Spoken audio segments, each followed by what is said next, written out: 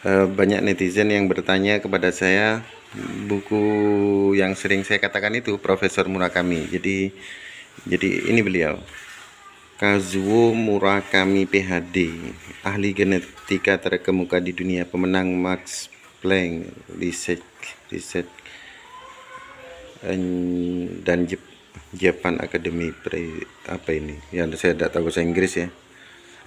ya baca sendirilah the the miracle of the DNA menemukan Tuhan dalam gen kita. Nah, ini yang membuat saya sangat tertarik itu karena yang berkaitan dengan ini.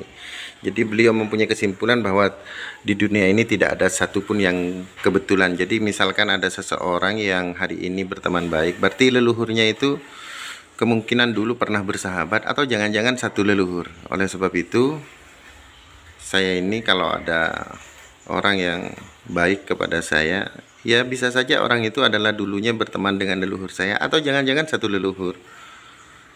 Jadi ini ya. Jadi beliau apa namanya mengatakan tidak ada satupun pertemuan secara kebetulan. Nah, jadi kalau kita bertemu kemudian berteman, berarti leluhur kita itu dulunya pernah bertemu dan berteman atau jangan-jangan satu leluhur. Nah ini nih.